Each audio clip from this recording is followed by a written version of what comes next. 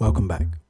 So, this is a continuing look at step sequencers, primarily in Ableton using Max for Live, um, but occasionally we're going to have some stuff from uh, other manufacturers like Native Instruments and so on.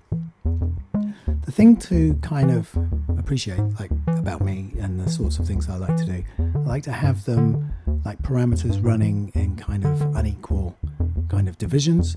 Um, because what this essentially does is it can take a very simple line and then transform it into something that's much more complex. So rather than complexity being a, a difficult sort of line or thing or idea that you sort of program by hand or something similar into uh, into uh, into a clip, you actually just uh, begin to offset a, a, number of parameters that are running at different time bases. And as they sort of run out of phase with each other and then come back into phase, you essentially have complexity.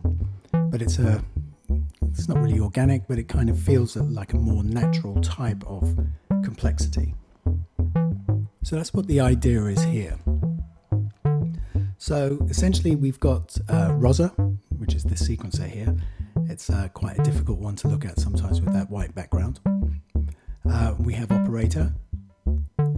I'm just using three voices. So I've got the uh, octave below the sub in voice two, and then I have another one up here. Let me try and bring that one up. Operator three. So we have that. Okay, so that's kind of the sound. It's a bit of a West Coast type sort of sound, kind of simulating something that's a bit like a low pass gate. Because essentially I've taken the envelope down for operator one, which essentially controls the tightens the sound up. So there are a number of tabs here that give us you know, parameters to go through. So what we have here in terms of the notes is running in 16 steps. We can vary the number of steps we want to. You've also got a means of being able to either um, push the pattern forward or backwards and change its relationship there. You can also randomize it as well if that's what you want to do. But one of the first places that I like to kind of look at stuff is, is this addition of the octave. So here the octaves are running in, in, a, in a sequence of fives. So essentially, you know, these five um, sort of commands to change or switch octave essentially operate on these notes here, which kind of creates the variety that we encounter.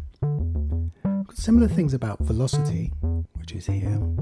And again, you know, you can you can work on sort of quite radical sort of velocity shifting if that will work with a particular sort of sound. At the moment, I'm not really using the uh, control, the, uh, the CC numbers here. These aren't really assigned to anything, but again, it gives you some sort of opportunity to create additional variations if you, you know, like an operator, when you can assign it to, uh, to, a, to modulate a particular parameter. So we leave the control changes alone. So essentially, we're just really looking at these, the interaction of these three elements here. Let me take that. Octaves up, octaves down, and we also have the uh, the stage, so we can turn sort of things on and off, right?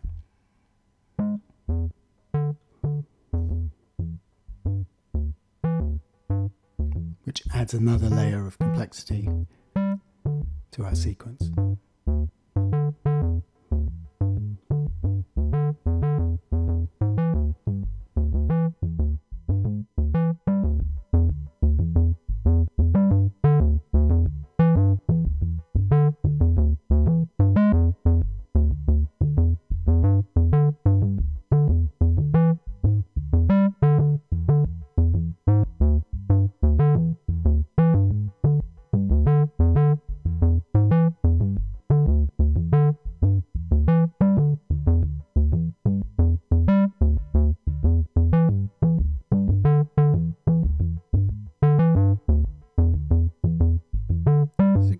Lot of possibilities. There's a there's kind of a quite a rich environment to actually explore, and there are lots of things you can do with the step sequencer that are not necessarily just about sort of repeating uh, robotic like uh, patterns, even though I'm quite a fan of robotic patterns as well.